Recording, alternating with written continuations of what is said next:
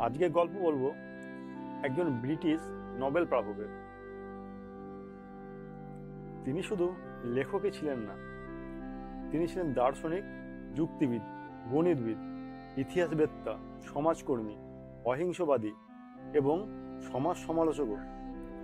অনেকের চোখে তিনি হলেন এক জীবন্ত বিস্ময়। মানুষের বোধ ও চেতনার এমন কোনো ক্ষেত্র নেই যেখানে তিনি প্রভাব বিস্তার করেননি। তিনি হলেন বার্টান্ড আর্থার উইলিয়াম রাসেল। তিনি বার্টান রাসেল নামেই বেশি পরিচিত। বার্টান রাসেল তার উল্লেখযোগ্য লেখনীর জন্যই উনিশশো পঞ্চাশ সালে নোবেল সাহিত্য পুরস্কার সম্মান পান।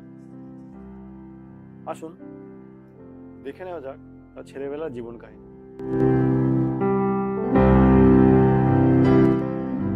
আঠারোশো বাহাত্তর খ্রিস্টাব্দের আঠেরোই মে যুক্তরাজ্যের ওয়েলস প্রদেশে জন্মগ্রহণ হয়েছিল এই বার্টান রাসেলের। ছোটবেলা থেকে তিনি অত্যন্ত মেধাবী ছিলেন। পরীক্ষাতে সবসময় তিনি প্রথম স্থান অধিকার করতেন। শৈশবের দিনগুলি তিনি কঠোর নিয়ম ও অনুশাসনের মধ্য দিয়ে কাটিয়েছিলেন।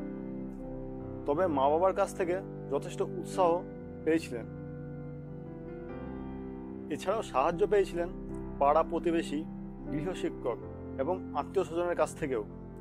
পরবর্তীতে তিনি একথা স্বীকার করতেন যে, তার শৈশবের দিনগুলো কষ্টের মধ্যে দিয়ে অতিবাহিত হয়েছিল বলেই তিনি শক্ত মনের অধিকারী হয়েছিলেন।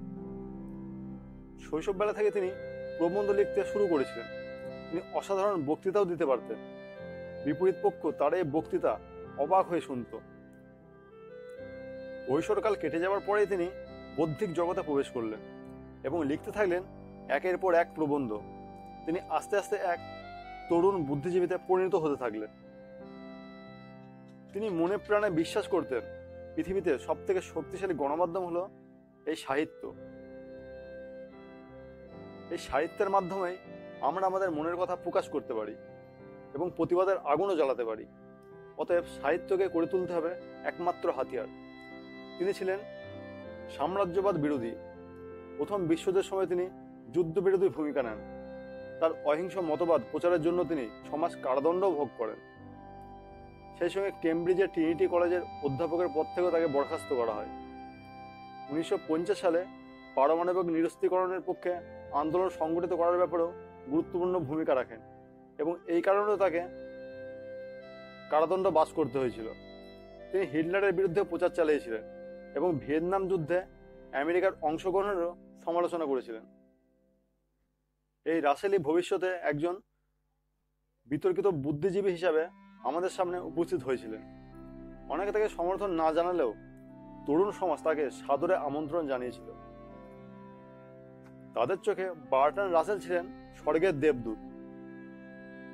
প্রচলিত সমাজ ব্যবস্থার বিরুদ্ধে তার লেখনী আন্দোলন তরুণ সমাজকে গভীরভাবে প্রভাবিত করেছিল। তাই তার কৃতিত্বকে আমরা কখনোই অস্বীকার করতে পারব না। তিনি সর্বদা পরমাণু নিরস্ত্রীকরণের পক্ষে ছিলেন। এই বার্টান রাসেলকে তার লেখনীর মাধ্যমে প্রচলিত সমাজ ব্যবস্থার বাস্তব জলজান্ত উদাহরণ তুলে ধরার জন্য উনিশশো পঞ্চাশ সালে সাহিত্যের নোবেল পুরস্কার সম্মান দিয়ে ভূষিত করা হয়।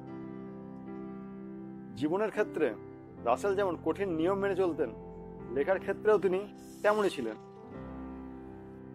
অনেক ভেবেচিন্তে এক একটি শব্দ লিখতেন এবং নিজের মতবাদকে পরিষ্কারভাবে ঘোষণা করতেন।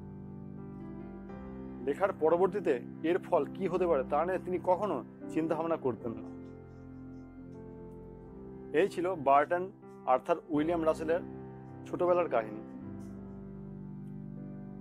কেমন লাগল বন্ধুগণ?